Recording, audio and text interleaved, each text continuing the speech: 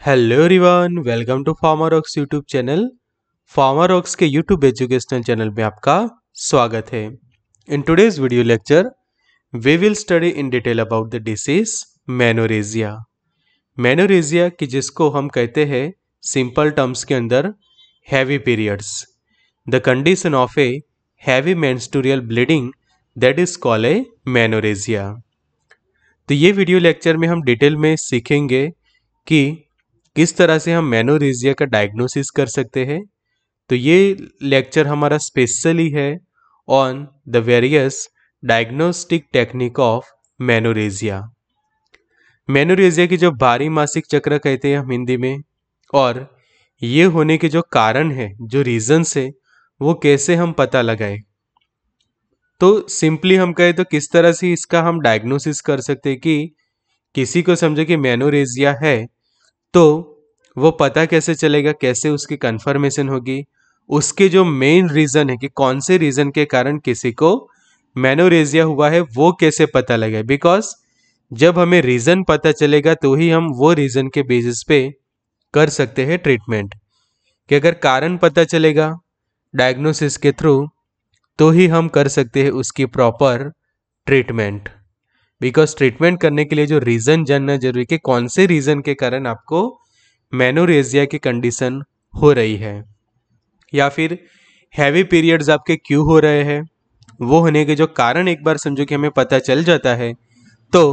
फिर उसके ट्रीटमेंट करना काफ़ी आसान हो जाता है। तो यही हम ये वीडियो लेक्चर में सीखेंगे डिटेल में। Expert lecture by Amar sir mister Amar M Rawal B pharm M pharm in pharmaceutics PhD pursuing assistant professor, founder of Pharmarox, pursuing the PhD from Gujarat Technological University, Ahmedabad, Gujarat. So thank you friends for being one lakh family of Farmer Pharmarox. Updated रहिए pharma knowledge के साथ also use करिए Pharmarox की जहाँ पे आपको study material test series and video lecture जो है वो एक्सेस कराए जाएँगे तो अगर आपके पास एंड्रॉयड फ़ोन है तो गूगल प्ले स्टोर पर सर अगर आपके पास आईफोन है तो ऐप स्टोर पर से आपको डाउनलोड कर सकते हैं। लिंक हमने डिस्क्रिप्शन बॉक्स में दे दी है तो ज़रूर से डिस्क्रिप्शन बॉक्स को चेक करिए। तो मेनोरेजिया की जिसकी हम डेफिनेशन देखें तो menorrhagia is the condition in which heavy और प्रोलॉन्ग मैंस्टोरियल ब्लीडिंग कि जो मैंस्टोरियल ब्लीडिंग नॉर्मल के कंपेयर में काफ़ी दिनों तक चले, साथ में काफ़ी ब्लीडिंग भी आपको हैवी होती हो as compare to the normal तो वो हम कहते हैं menorrhagia it is the most common type of abnormal uterine bleeding normal के कंपेयर में ये है abnormal uterine bleeding characterize by heavy and prolong menstrual bleeding heavy और प्रोलॉन्ग प्रोलॉन्ग इसलिए कि उसका जो नॉर्मल जो साइकिल होता है, उसके कंपेयर में काफ़ी ज़्यादा दिनों तक ब्लीडिंग चलता है। हैवी एंड प्रोलंग पीरियड्स भी कह सकते हैं। एंड सम केसेस ब्लीडिंग में भी सीवियर कुछ केसेस के अंदर ब्लीडिंग काफ़ी सीवियर होता है and daily activities become interrupted कि जिसके कारण आपकी जो डेली एक्टिविटीज़ है, उसके ऊपर अफेक्ट होता है। नॉर्मल मेंस्ट्रुअल साइकिल हम देखें तो 21 से लेकर 35 डेज़ का जो साइकिल नॉर्मल रहता है, ब्लड लॉस होता है मिनिमम 50 एम या फिर average on an average 50 M जितना ब्लड लॉस होता है। तो लेस देन 25 एम जब ब्लड लॉस होता है ड्यूरिंग द मेंस्ट्रुअल साइकिल कि जो ऑन एन एवरेज दो से लेकर सात दिन तक जो ब्लीडिंग चलती है, वो कहा जाता है normal period cycle but menorrhagia के अंदर more than 80 M blood loss होता है कि जिसको हम कहते हैं हैवी ब्लड लॉस और टाइम ड्यूरेशन भी जो दो से सात दिन लगते हैं, उससे काफ़ी ज़्यादा दिनों तक आपके पीरियड्स चलते हैं। तो वो कहा जाता है मेनोरेजिया तो ऑन एन एवरेज 25 से लेकर 50 एम जितना ब्लड लॉस होता है नॉर्मल पीरियड साइकिल में and two two seven days that is the normal period and blood loss is around 3 to 4 tablespoonful. That is uh, equivalent to around 25 to 50 ml on an average blood loss for in a healthy condition कि जब आप healthy condition में होते हैं तो ये वाला रहता है नॉर्मल पीरियड साइकिल तो ये आपको ऑलवेज आपके नॉलेज में होना चाहिए कि ये आपको ऑलवेज पता होना चाहिए कि नॉर्मल पीरियड साइकिल और उसके कंपेयर में जब मेनोरेजिया का हम देखते हैं तो मेनोरेजिया के अंदर जो मेस्ट्रोरल साइकिल है, वो चलता है longer than seven days longer than seven days and blood loss is greater than eighty M L so that is the menorrhagia तो जो पॉइंट में येलो कलर से हाईलाइट कर रहा हूँ वो आपके लिए है pin point and that are very very most I M P points for the examination as well as also for the knowledge कि आपके नॉलेज के लिए स्किल के लिए एज वेल एज अगर आप कोई कॉम्पिटिटिव एग्ज़ाम्स की तैयारी कर रहे हैं तो जो पॉइंट्स हम हाईलाइट्स कर रहे हैं या फिर पिन पॉइंट के लिए जो अच्छे से ये कलर्स भी किए हुए हैं तो वो पॉइंट आपको रिकॉर्ड बुक में ज़रूर से लिखने हैं, जिससे ये आपके एग्ज़ाम के दौरान एज वेल एज अगर आपको नॉलेज के लिए भी ये लेक्चर आप अटेंड कर रहे हैं तो ये पॉइंट आपको खास पता होना चाहिए। तो कोजिज एंड रिस्क फैक्टर जो हमने सीखे थे प्रीवियस लेक्चर में पार्ट वन में, कि hormonal imbalance dysfunction of the ovaries uterine fibroids and polyps adenomyosis है intrauterine device pregnancy complications inherited bleeding bleeding disorders medication and medical condition ये सभी को हमने सीखा था डिटेल के अंदर। यहाँ पे तो जस्ट हमने एनलिस्ट किया है। डिटेल्स के अंदर पार्ट वन में सीखा था। पार्ट वन की लिंक आपको डिस्क्रिप्शन में मिल जाएगी। तो जो स्टूडेंट ने पार्ट वन नहीं देखा, ज़रूर से एक बार चेक करिए कि जिसमें ये सभी कोजेज एंड रिस्क फैक्टर आपको डिटेल में समझाए हैं। Each and every are in a detail. अब बात करते हैं next that is the diagnosis तो डायग्नोसिस अब हम डिटेल में सीखेंगे पार्ट टू के अंदर कि ये वाले तो हमने देखे कि ये सब है रीजन ये सब है रीजंस रीजन भी नहीं कहेंगे हम, क्योंकि एक से ज़्यादा है इसलिए रीजंस अब ये रीजन में से कौन से रीजन के कारण आपको मैनोरिजिया हो रहा है? कि यहाँ पे आप देख सकते हैं कि एटलीस्ट आठ से दस जितने जो रीजन है रिस्क फैक्टर है कि जिसके कारण मेनोरेजिया हो सकता है कि जिसके अंदर 80 एम से भी ज़्यादा ब्लड लॉस होता है पर साइकिल और प्रोलॉन्ग एंड हैवी पीरियड्स आपके रहते हैं। तो यही रीजंस को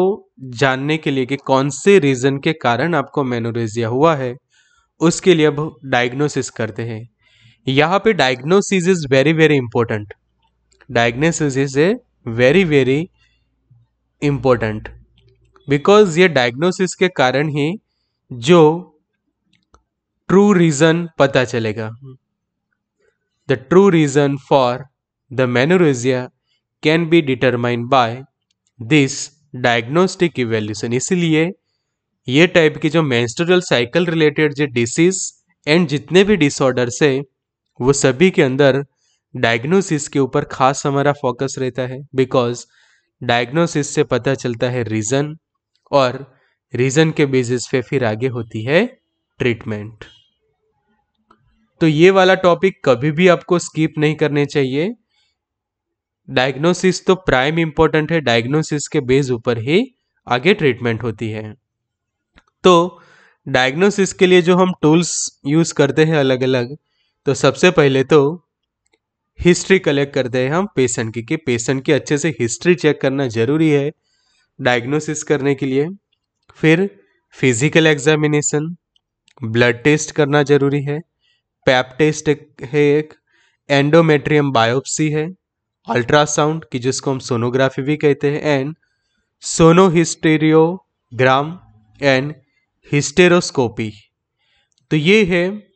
very very important diagnostic evaluation features for the menorrhagia तो अब जानते हैं सभी को डिटेल में शुरुआत करते सबसे पहले हिस्ट्री कलेक्शन से। तो हिस्ट्री कलेक्शन के अंदर जो आपको समझना है कि प्रॉपर असेसमेंट ऑफ़ पेशेंट अच्छे से पेशेंट को प्रॉपर एसेस करना है with heavy menstrual bleeding begins with complete medical and menstrual history. menstrual history के अंदर आपको जो menstrual साइकिल्स जो होते हैं, उसके डेट्स वगैरह आपको जाननी होती है as well as last menstrual cycle कब हुआ था, उससे पहले एटलीस्ट दो से तीन महीने या फिर अगर पेशेंट को याद हो तो एटलीस्ट उसकी छः मंथ की लास्ट सिक्स मंथ जितनी भी आप उसकी हिस्ट्री चेक कर सकते हैं कि लास्ट छः मंथ के अंदर क्या कंडीशन रही थी? और लास्ट मिनिमम थ्री मंथ की तो आपको ज़रूर से हिस्ट्री चेक करनी ही पड़ेगी रिगार्डिंग मेंस्टोरियल साइकिल कि लास्ट थ्री छः चलो हम निकाल देते हैं तो भी आखिरी तीन जो मेंस्टोरियल साइकिल है, वो साइकिल के अच्छे से आपको हिस्ट्री चेक करनी है कि कितनों दिन तक चला था last three periods as well as वो साइकिल के दौरान क्या कॉम्प्लिकेशंस हुए थे। तो अच्छे से आपको वो पेशेंट को पूछना पड़ेगा कि उस वक्त उसको क्या और कॉम्प्लिकेशंस हुए और उसके अंदर क्या चेंजेस देखने को मिले कि ब्लीडिंग तो चलो एक्सेसिव हुई है एक्सेसिव ब्लड लॉस भी हो रहा था बट और क्या साइन ऑफ़ सिम्टम्स हो रहे थे लाइक उसको नोजिया जैसा हो रहा था या नहीं वॉमिटिंग हो रही थी या नहीं हेड वगैरह है। तो जो भी कॉम्प्लिकेशंस पेशेंट को होते थे, वो अच्छे से पूछना पड़ता है इन हिस्ट्री कलेक्शन हिस्ट्री भी कह सकते हैं या फिर हम कहें कि जब पेशेंट का अच्छे से हम काउंसलिंग करते हैं पेशेंट काउंसलिंग तो ये बात है कि डिसीज मैंस्टोरियल साइकिल रिलेटेड है तो उसकी तो हिस्ट्री और साथों साथ medical history so proper medical history must be check for the diagnosis of heavy periods. ऐसा नहीं कि सिर्फ़ आपके मेंस्ट्रुअल हिस्ट्री ही आप चेक करो बट मेडिकल हिस्ट्री भी आपको ज़रूर से चेक करनी है कि कौन से मेडिसिन ले रहा है पेशेंट कौन सी उसको ट्रीटमेंट चल रही है बिकॉज़ कई बार हमने देखा प्रीवियस लेक्चर के अंदर कि कुछ मेडिकेशंस के साइड इफ़ेक्ट के तौर पे, कुछ थेरापीज के साइड इफ़ेक्ट के तौर पे भी मेनोरेजिया हो सकता है हैवी पीरियड्स की कंडीशन हो सकती है। तो first that is a history collection second that is the physical examination physical examination मतलब कि आप फिजिकली पेशेंट को अच्छे से चेक करते हैं, जिसके अंदर जो पैल्विक होता है, कि हिंदी में उसको हम नितम का पोर्शन कहते हैं तो वो जो पोर्शन का अच्छे से किया जाता है एग्जामिनेशन कि जो कहा जाता है पैल्विक एग्जामिनेशन यहाँ पे देखिए, जो प्रॉपर डायग्नोसिस के अंदर आप चेक कर सकते हैं। यहाँ पे जो, ये देखिए आपका ब्लेडर का पोर्शन ये जो यूटेरस है, यहाँ पे फेलोपियन ट्यूब है, ये वाला आपका यूटेरस है फेलोपियन ट्यूब्स ये रही और उसके साथ रही, ये ओवेरिज्म साइड में से देख रहे हैं। ये वाला रेक्टम का पोर्शन ये वजाइना है, ये तो जो रेक्टम का जो पोर्शन है कि ये वाला इतना जो रीजन वहाँ पे अच्छे से एग्जामिनेशन किया जाता है पैल्विक एग्जामिनेशन तो फ़िज़िकल टेस्ट जो हम कहते हैं ये, और examination done to diagnosis the menorrhagia that is the pelvic examination as well as vaginal examination भी किया जाता है यूटेरस का भी एग्जामिनेशन किया जाता है फिजिकली एज वेल एज जो ब्लेडर के आसपास का जो पोर्शन है, जहाँ पे जस्ट ऊपर की ओर से कि जो आपका पेट का जो ऊपर का पोर्शन होता है, वहाँ पे भी चेक किया जाता है इन फ़िज़िकल एग्जामिनेशन। नेक्स्ट है blood test. Next, that is the blood test. तो ब्लड टेस्ट के अंदर हम देखें तो सीबीसी टेस्ट और thyroid test using a blood sample. आपका जो ब्लड सैंपल कलेक्ट किया जाता है, उससे दो टेस्ट किए जाते हैं। एक तो नॉर्मल आपका सीबीसी की जो हम कहते हैं कंप्लीट ब्लड काउंट टेस्ट और दूसरा थायराइड का टेस्ट कि जिससे पता लग सकते हैं थायराइड के डिसऑर्डर्स एज वेल एज समझो कि आपको आयरन डेफिशिएंसी के कारण हो रहा है कि समझो कि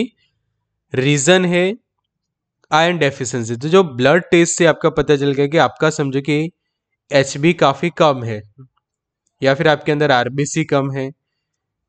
तो वो उससे पता लगेगा कि रीज़न क्या है, कि एनीमिया के कारण ऐसा हो रहा है, या फिर इसके कारण अभी पेशेंट एनेमिक है तो एनेमिक होने के कारण आपको पता चल जाएगा कि heavy menstrual cycle heavy bleeding के कारण जो ब्लड लॉस हुआ, उसके कारण पेशेंट को एनेमिक कंडीशन जो है वो प्रोड्यूस हुई है। तो एनीमिया समझे कि पेशेंट को हुआ है तो वो पता चल जाएगा और उससे जब family history sorry medical history या मेंस्ट्रुअल साइकिल हिस्ट्री आप लेते हैं तो उसमें आपको पता चलता है कि जब काफ़ी प्रोलॉन्ग पीरियड से दो या तीन महीने से तो काफ़ी हैवी ब्लड लॉस के कारण पेशेंट को एनीमिया हुआ है। तो ये एक रीज़न पता चलता है। As well as thyroid disorders के कारण समझे कि मेंस्ट्रुअल साइकिल के ऊपर अफेक्ट हुआ है हार्मोनल इम्बैलेंस हो गए हैं। तो ये भी आपको ब्लड टेस्ट पर से ही पता चलेगा। एज वेल एज जो सेक्स हार्मोन्स होते हैं, उसका भी लेवल आप पता लगा सकते हैं। ब्लड टेस्ट के थ्रू तो ये ब्लड टेस्ट प्राइम इंपॉर्टेंट होता है ड्यूरिंग द डायग्नोसिस फिर जो टेस्ट है, काफ़ी important that is a pap test. तो यहाँ पे सभी टेस्ट के आपको पिन पॉइंट खास याद रखने हैं। Pap test. तो पैप टेस्ट के अंदर करते क्या है? तो cells from your cervix are collected and tested for infection inflammation और changes that may be cancerous और lead to cancer and that become further the reason of menorrhagia कि अगर समझो कि आपको सर्विकल कैंसर हुआ है, या फिर कैंसरस सेल्स जो है वो वहाँ पे डेवलप हो रहे हैं तो उसके कारण भी कई बार हैवी पीरियड्स होते हैं। मेंस्ट्रुअल साइकिल का आपका काफ़ी हैवी होता है। तो कैंसर के कारण भी कई बार ऐसा होता है। तो जब पैप टेस्ट आप करते हैं तो उससे पता चलता है कि जो सर्विक्स है और उसके जो आसपास के जो सेल है, यहाँ पे देखिए सर्विक्स का, यहाँ पे वजाइना के थ्रू ही ये जो ब्रश है, वो पास किया जाता है और ये ब्रश के थ्रू जो सर्विक्स का जो पोर्सन है, वहाँ से सेल कलेक्ट किया जाता है और उसको अच्छे से टेस्ट किया जाता है, उसका एग्जामिनेशन किया जाता है एंड उससे आगे जो उसका रिज़ल्ट मिलता है पैप टेस्ट का, उससे पता चलता है कि वहाँ पे इन्फ्लेमेशन हुआ है या नहीं सेल्स का? फिर वो सेल नॉर्मल है या कैंसरस सेल में कन्वर्ट हुए हैं, वो भी पता चलेगा। और जो एग्जैक्ट रीज़न है इन्फ्लेमेशन होने का, वो भी आपको पता चलेगा बाय पैप टेस्ट उसके बाद जो टेस्ट परफॉर्म की जाती है वो है एंडोमेट्रियल बायोप्सी एंडोमेट्रियल बायोप्सी तो बायोप्सी के लिए बायोप्सी कैथेटर्स यूज़ किया जाता है। यहाँ पे दो इमेजेस हमने रखे हैं। एक आप आगे से देख सकते हैं और एक साइड व्यू है उसका। तो ये वाला कैथेटर आप देख सकते हैं जो मैं येलो येलो लाइन की है और ये ये साइड वाला कैथेटर की जो अभी येलो लाइन हम ड्रॉ कर रहे हैं। तो ये बायोक्सिपिक कैथेटर्स एंडोमेट्रियम की और आप सेट करते हैं और एंडोमेट्रियम जो लेयर है, कि जो यूटेरस के अंदर होता है तो यूटेरस के अंदर जो एंडोमेट्रियम का जो लेयर है, उसके सैंपल्स कलेक्ट किए जाते हैं। तो endometrial biopsy is a medical procedure in which small piece of tissue from the lining of the uterus that is endometrium is remove for examination under microscope. ये tissues को remove की जाएगी वहाँ से by this biopsy catheter and वो जो tissues या फिर सेल्स आपने कलेक्ट किए हैं, उसको अच्छे से आप एग्जामाइन करेंगे और उससे रीज़न पता चलेगा कि एंडोमेट्रियम के अंदर कुछ कॉम्प्लिकेशंस हुए हैं कि उससे कारण पेशेंट को जो मैनोरेजिया हो रहा है कि जो हमने बात की कि यूटेराइन फाइब्रॉइड्स, यूटेराइन पॉलिप्स जो हमने देखे तो जब एंडोमेट्रियम के जो लेयर्स की जो यूटेराइन का लाइनिंग है, वहाँ पे कोई इन्फ्लेमेशन है, वहाँ के सेल्स डैमेज हुए हैं टिश्यूज डैमेज हुई है, वहाँ पे कोई फाइब्रॉइड है पॉलिप्स है तो वो सब पता लगाने के लिए एंडोमेट्रियल बायोप्सी की जाती है। फिर सोनोहिस्टेरोग्राम सोनोहिस्टेरोग्राम के अंदर क्या किया जाता है? तो ये टेस्ट के अंदर फ्लूड जो है वो इंजेक्ट किया जाता है। तो during this test fluid is injected through a tube into your uterus by the way of your vagina and cervix vagina and cervix के रूट के थ्रू फ्लूड जो है वो जो इंजेक्ट किया जाता है यूटेरस के अंदर and then ultrasound is use for looking into the problems the lining of your uterus अब यूटेरस की जो लाइनिंग के अंदर कोई प्रॉब्लम है कि like polyps with endometrial and myometrial interfaces preserve. And here we can see the polyps or cyst. कि समझो कि वहाँ पे well defined homogeneous isoechoic to the endometrium तो सोनो हिस्टेरोग्राम्स के जो आपको इमेजेस मिलते हैं, यहाँ पे हम देख सकते हैं, ये डायग्नोसिस के जो इमेजेस तो ये इमेजेस से आप पता लगा सकते हैं कि वहाँ पे कोई जो यूटेरस आप एग्जामाइन करते हैं, यहाँ पे स्पेशली यूटेरस तो यूटेरस के जो लेयर्स की एंडोमेट्रियल और मायोमेट्रियल तो वहाँ पे कोई डैमेज है या नहीं? वहाँ पे कोई सिस्ट है या नहीं पॉलिप्स है या नहीं, वो आगे आप और कंफर्मेशन कर सकते हैं by this test that is call a sonohysterogram उसके बाद दूसरा जो ऑप्शन अल्ट्रासाउंड कि जो अल्ट्रासाउंड जो किए जाते हैं अल्ट्रासाउंड इमेजेस कि जो हम सोनोग्राफी भी कहते हैं। तो यूटेरस है ओवेरिज है एज वेल एज पेल्विस तो पेल्विस या फिर पेल्विक जो हम कहते हैं, उसका अच्छे से अल्ट्रासाउंड कर सकते हैं, जिससे आपको यूटेरस का पता चलेगा कि यहाँ पे जो साइड में से इमेज में हम देख सकते हैं here is that uterus and right ovary transverse section है ये, कि साइड में से जो हम चेक करते हैं तो उसमें यहाँ पे आपको यूटेरस देखने को मिलता है, ये वाला, और ये है ओवेरी एंड फेलोपियन ट्यूब का जो रीजन। और ये समझो कि आप आगे से देखते हैं, ऊपर से जब की जाती है तो यूटेरस का जो पोर्शन और ये साइड व्यू है। तो इमेजेस जो है साउ अल्ट्रासाउंड्स जो हम कहते हैं, या फिर इसको सोनोग्राफी भी कहते हैं तो उससे पता चलता है कि कंडीशन कैसी है यूटेरस की, ओवेरिस की condition as well as pelvic का भी एग्जामिनेशन हो जाता है अल्ट्रासाउंड से भी। तो ये भी एक ऑप्शन रहता है डायग्नोसिस के अंदर। और एक और ऑप्शन है, वो है हिस्टेरोस्कोपी तो हिस्टेरोस्कोपी से एग्जैक्ट पता चलता है बिकॉज़ ये हिस्टेरोस्कोपी के अंदर एंटर किया जाता है हिस्टेरोस्कोप और हिस्टेरोस्कोप के साथ अटैच होता है कैमरा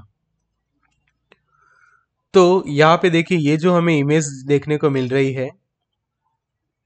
तो ये वाला इमेज हमें देखने को मिलता है प्रॉपर हिस्टेरोस्कोपी के कारण। तो hysteroscopy that is examination involve inserting a tiny camera through your vagina and cervix into your uterus which allow your doctor to see the inside of your uterus. तो ये कैमरा के कारण जो हमें images मिलते हैं, यहाँ पे क्या मिलते हैं हमें? इमेजेस और ये इमेजेस भी रहते हैं प्रॉपर प्रॉपर इमेजेस कि ये इमेजेस से आप अच्छे से आपको क्लियर इमेजेस देखने को मिलते हैं, कि आपको कंप्यूटर स्क्रीन के ऊपर वो लाइव देखने को भी मिलता है एज वेल एज उसके फोटोग्राफ्स भी मिलते हैं कि जिससे एग्जैक्ट पता चलता है कि क्या रीज़न है। तो this is also the main diagnostic feature for the menorrhagia है कि जिससे प्रॉपर समझो कि कैमरा जब वजाइना के थ्रू एंटर करवाते हैं तो वजाइना की linings as well as cervix का जो पोर्सन और फिर यूटेरस की लाइनिंग्स वहाँ पे जहाँ तक ये कैमरा अच्छे से पहुँचता है वो सभी जगह के आपको इमेजेस अच्छे से मिलते हैं जिससे जो इन, इनर लाइनिंग्स है वो आप अच्छे से एग्जामाइन कर पाओगे और प्रॉपर जो है, वो डायग्नोसिस होता है थ्रू दिस हिस्टेरोस्कोपी तो जो हिस्टेरोस्कोप और उसके आगे लगा होता है कैमरा तो ये था diagnosis of menorrhagia next lecture है हमारा कि किस तरह से हम उसकी ट्रीटमेंट करें. अब कि डायग्नोसिस के बेस पे समझे कि आपको रीज़न पता चल गया कि ये रीज़न के कारण मैनोरेजिया हो रहा था. तो इसके ट्रीटमेंट एंड मैनेजमेंट हम सीखेंगे पार्ट थ्री के अंदर। तो पार्ट थ्री के जो मेन हमारे कंटेंट्स रहेंगे तो मैनेजमेंट एंड ट्रीटमेंट कि जो रीज़न पता चलता है, उसके बेसिस पर कैसे हम इसकी ट्रीटमेंट करें। एज वेल एज कौन से अलग अलग सर्जरीज वगैरह समझो कि करनी पड़े तो वो कौन सी है तो ये सभी को हम डिटेल में जानेंगे पार्ट थ्री के अंदर। So thanks friends for watching ज़रूर से वीडियो को लाइक करिए, वैल्यूएबल कमेंट्स करिए, शेयर करिए एंड चैनल को